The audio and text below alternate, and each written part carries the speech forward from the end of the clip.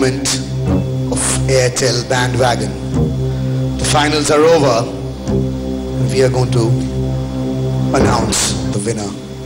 আমার সামনে এয়ারটেলের Airtel ব্যান্ডওয়াগনের trophy সামনে আছে আমার ডান দিকে আত্মহত্যা বাঁ দিকে aliens and uh, after three months of grueling competition we have finally come to a decision and I would like to invite Mr. A.R. Rahman on stage and Mehreen to come and announce the winners.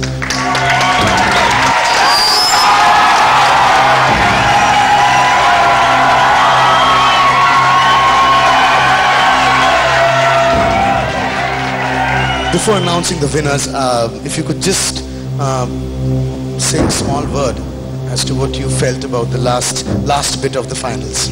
Overwhelming, Bonnie. Overwhelming. Sir, uh, mm, the dishes, like the decision has been taken.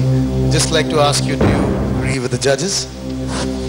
Well, uh, we went through all the points and uh, we we had to take a decision finally. If you let me, I'll.